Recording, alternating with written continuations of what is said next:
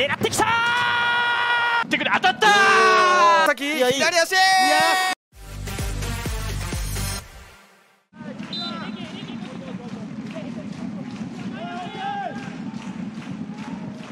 ニアサイド。後ろから川上振ってくる当たったミドルシュート川上!先制ホームの相模原まあ、しっかりこう自分の面を作ってミートしましたね、まあ、目の前に守備来たディフェンスに当たってコースも少しこう変わって。うまくプレス外して敵陣まで入ってきます甲府関口。ウィリアン・リラのところコントロールリラ。リラ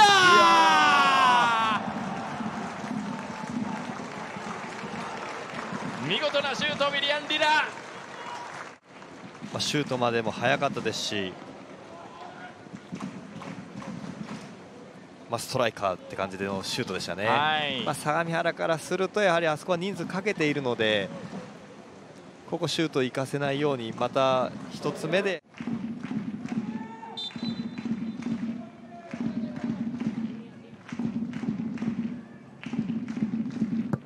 決めました。藤本純子冷静です。さすが。ね、はい。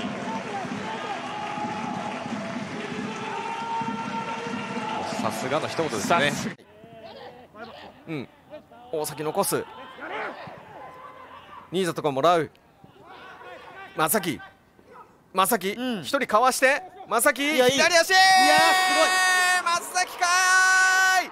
先制は水戸ホーリーホック途中出ここで前向くのもそうですしキュッと抜きますよね、ええ。そしてクッと止まりながらマイナス気味に止めての思い切ったシュートですからいやこれは本当素晴らしいシュートですね、まあ、途中から入って、まあ、ずっといい流れでね、はい。ボールももらってましたし、はいはい。えークロスも上げてたしドリブルもしさすがのプレーを見せました。特に1本目のシュートの後の2本目のね、えー対応っていうのは非常に早かったですね。ええちょっとここは対応をミスった。シュートだ流し込んでいきました。先制大宮相手のミスを逃しませんでした。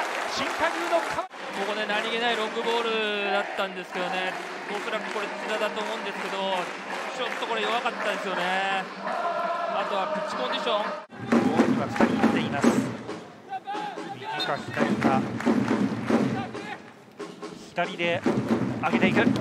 こぼれているシュート決まった秋田追いつきました。飯尾のゴール。8聞いてみないとわからないですけど、まあ、結果的にやはりこうやって混戦作って、いいプレーだったと思いますね。さあ久しぶりに町が中に入ってくる。さあどうか？吉尾左足シュートはどうか？ヒットして太田シュート決まった。太田決めました。パパになって初めての試合です。さあ。こぼれ球ですよね、え。太田がうまく押し込みましたね、はい。今シーズン甲府から入ってきた太田です。で吉野もねうまくシュートまで行きましたけどそのセカンドボールを、ね、太田が押し込みました。こういう一本のねはい。な上上から中水本クリアです。中固めてます町田。木村からのボール。ヘディングデューク!決めた!追いついたデューク移籍後初ゴール。中央に人数かけて、でサイドも高い位置取らせてますし、まあ、そのシステムを変えたことによって、まあ、あのよりねこうデュークが。大井からの縦パスは奪いました。さあベルディ。スピードのある右の山下。オーバーラップ右サイドバックの森田。内側からドリブル。山下縦パス。さあ入ったボックスイン。森田。右足のシュート!決まった。カウンター一戦。アウェー東京ベルディやはりこの山下のね、この外から中へのドリブルが入ったことによって、岩田のディフェンス陣がちょっとボールウォッチャーになりましたよね。その中で、やはりこの森田ですよね、非常にこうトップスピードで駆け上がってきましたね。はい、そこのキッカー遠藤狙ってきた芸術的な弧を描いてゴールに吸い込まれました。ジュビロ磐田同点。遠藤の今シーズン2ゴール目。止まったかのような素晴らしい芸術的なフリーキックでしたね。少しね距離がね私ね近いから落とすの難しいかなっていうね 話したんですけどね。あのしっかりとこう非常にこう厳しいコースにしっかりとこう流し込むような本当芸術的なシュートでしたよね。ゴールエリア内鈴木。山田もいます。助走に入ってクロス入って山田コーナーキックから逆転後半の7分セットプレー遠藤の山田の動き出しですよね、やはりこう背後からゾーンのこの間のところですね。ウドカボルフェーズもね高いですけどその前にね飛んでね自分でねこうヘディングのエリアを確保して、しっかりとボールミートできた。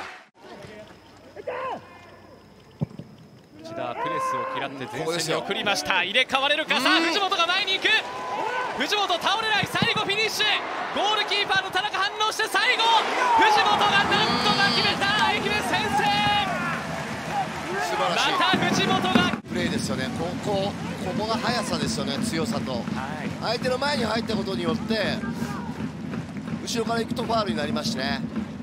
素晴らしいプレーだったと思いますね。そうですね。気をつけろって言った北九州としてはねあ小橋監督としてはここのワイドを使いますからね。はいワイドを使って。うん、椿から福森ここは空きました。低いボール西村そして荒垣のシュー。トだ?同点に追いついた北九州。少ないチャンス最後レフティー14番、はい、ただ本当にこうコースにねしっかりと振り切れてますもんね。素晴らしいシュートです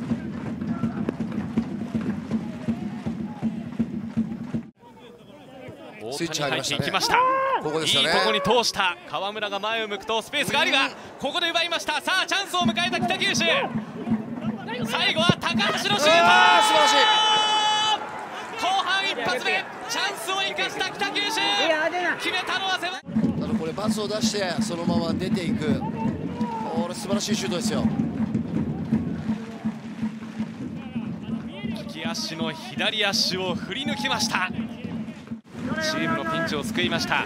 そしてコーナーキック。愛媛は3つ目。い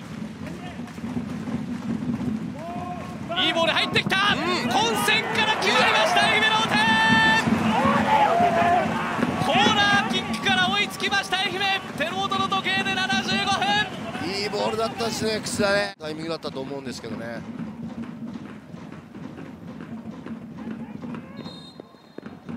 藤本エースの今日2点目が足出してますね。